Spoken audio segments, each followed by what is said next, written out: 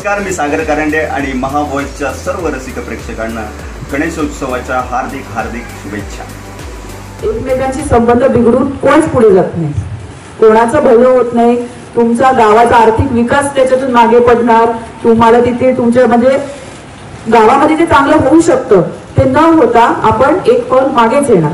त्यामुळे दुसऱ्यांना न दुखवता किंवा दुसऱ्यांना त्रास न देता आपण आपला सण जबाबदारीने साजरा करू शकतो आणि एकदम धमाक्यात साजरा करू शकतो जल्लोषामध्ये साजरा करू शकतो.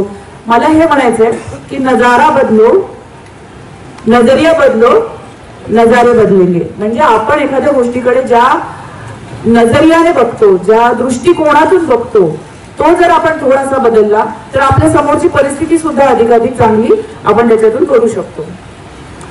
पत्ते दारू आणि डीजेचा विषय मगाशी निघाला. तुम्हाला हे खरंच कळत नाही की गणपतीचा गणपती बाप्पाचा आणि पत्त्यांचा का संबंध? कधीपासून ही गोष्ट सुरू केली आमच्या मुलांनी? मी पूर्ण महाराष्ट्रात बघतोय तर सात आठ जिल्ह्यात माझी पण नोकरी झाली. सगळीकडे ही अतिशय विषारी कीड लागलेली आहे. हे कृपया तोडून टाका रे. काही गरजच नाहीये ना.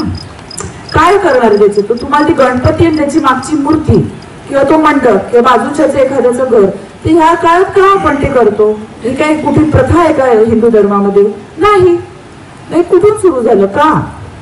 तुम्हाला काही ते खेळायचंय तर जा क्रिकेट खेळा कबड्डी खेळा खेलो कुदो गिरो उठो.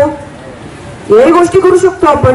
कबड्डी आपल्या मातीतला खेळ आहे. खेळा ना कबड्डी. घ्या गणेशोत्सव स्पर्धेमध्ये कबड्डी खेळा. पत्त्याच्या ऐवजी कबड्डी खेळा. तुम्हाला इथे दारूचा काही प्रॉब्लेम मग अशी एकाने खूप छान मुद्दा मांडला की दारू पिऊन आपल्याला जास्त अंगामध्ये जोश येतो असं वाटतं. बट नो या ज्या माता भगिनी आहे काही वडीलधारी इथे बसलेले आहेत तुमच्या मुलांना प्लीज सांगा त्याचे काहीही मर्दानगी नाही आहे त्याच्यामध्ये काही कूलपणा नाही आहे की त्याच्यामध्ये कुठल्याही प्रकारचा एक हिरोइझम त्यांना जर वाटत असेल तो त्याच्यामध्ये नाही आहे तुम्हाला माहिती आहे का की दारू प्यायलो आपलं शरीर खूप जास्त प्रमाणात डिहायड्रेट झालं तर आपण किती फिट असू किती स्वस्थ असू पटकन आपण मरू शकतो. चालेल? आपल्या मुलाला असं काही झालं तर चालेल आपल्याला? आपल्याला स्वतःला चालेल की स्वतःला असं काहीतरी पटकन काहीतरी झालं?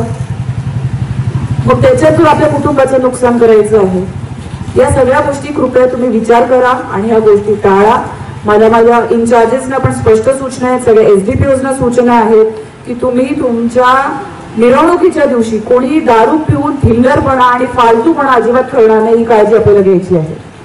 सगळ्यात सिक्युरिटीचं सुरक्षिततेचं किंवा एखादी गोष्ट चांगली चालू आहे याचं काय मापक आहे? की त्या मिरवणुकीमध्ये तुमची बहीण पण आली पाहिजे तिला पण तिथे छान वाटलं पाहिजे.